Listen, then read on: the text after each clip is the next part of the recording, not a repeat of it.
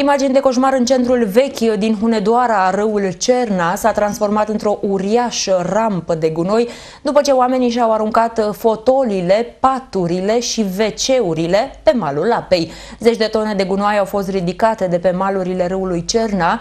În ultimele săptămâni, însă, localnicii din Hunedoara continuă să polueze apa. Primăria anunță amenzi drastice pentru cei care sunt prinși aruncând deșeurile în râu.